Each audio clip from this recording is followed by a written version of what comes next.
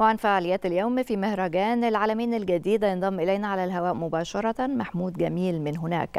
محمود انقل لنا فعاليات اليوم في مهرجان العالمين. عفوا على هذا الخطأ كريم هو من ينضم إلينا على الهواء. أهلا بك كريم.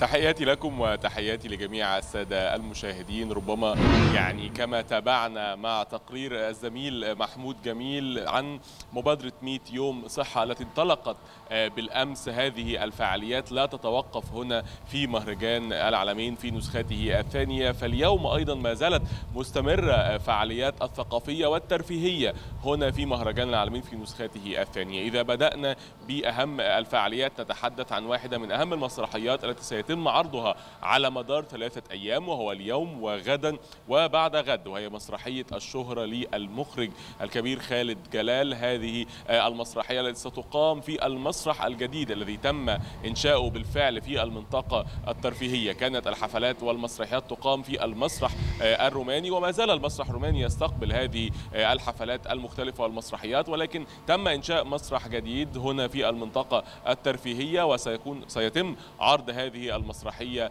بها وهي مسرحية digital studio وتحديدا مسرحية الشهرة على مدار ثلاثة أيام. ستبدأ العرض الأول اليوم هنا في المنطقة الترفيهية. تليها بعد ذلك عدد من النشاطات في المنطقة الترفيهية لا تتوقف مثل نشاطات الأطفال وألعاب الأطفال المتواجدة أيضا في المنطقة الترفيهية بالإضافة أيضا لألعاب الأطفال الباراموتر والألعاب الهوائية ما زالت مستمرة. ولكن العديد من يعني مرتادي مهرجان العالمين في نسخته الثانية في انتظار هذا اليوم المميز فيما يتعلق بالحفلات الغنائية في اليو أرينا وهي حفلة التسعينيات.